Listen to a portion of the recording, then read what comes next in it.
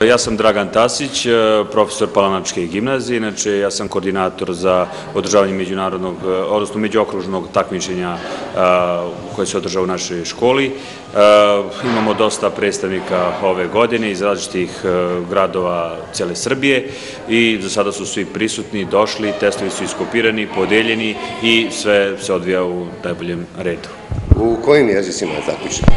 Uglavnom u svim jezicima, najzastupljeniji su predstavnici engleskog jezika, potom idu francuzi, pa nemci, a imamo predstavnike i ruskog, španskog i italijanskog. Što se tiče vaše škole, ima zastupnika naravno?